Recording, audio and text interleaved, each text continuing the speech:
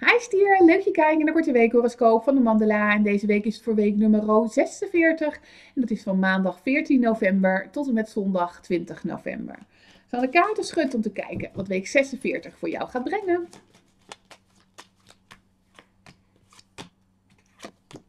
Dan lijkt het stier alsof week 46 een week is waarin er um, echt weer even een stukje nieuwe inspiratie komt. Alsof het um, ineens allemaal vruchten gaat afwerpen waarmee je eigenlijk bezig bent. En ik heb het idee dat je het heel goed in evenwicht kan houden, waar je voorheen misschien net even te veel het gevoel had of te veel hooi op je vork te hebben of ook echt uh, te hebben, heb ik het idee dat je deze week veel meer uh, aan kan. Je lijkt deze week veel meer aan te kunnen pakken, lekker in beweging te blijven en heel goed te weten wat je wel en wat je niet kan doen.